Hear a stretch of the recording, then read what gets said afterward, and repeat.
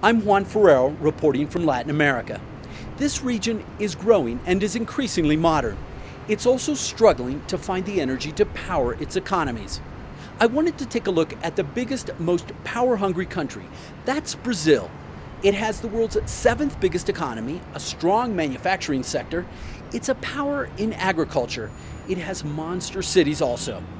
It's also a country that's trying to find the right energy mix. In many ways, Brazil is cutting edge. Most of its energy is renewable. Its hydroelectric dams provide much of its electricity. Biofuel powers much of its car fleet. I took a look at wind power. Brazil is building wind farms up and down the length of the country. But Brazil also faces huge problems.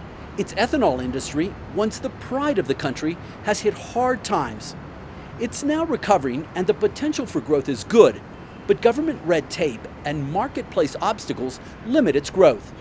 One reason is oil. Brazil recently turned its attention to pumping oil offshore in the hope of becoming a major oil power. But things haven't turned out quite as the government planned. The challenges of pumping through four miles of water and also through a cap of salt are huge. And the financing needed to develop the deep sea find is mind boggling.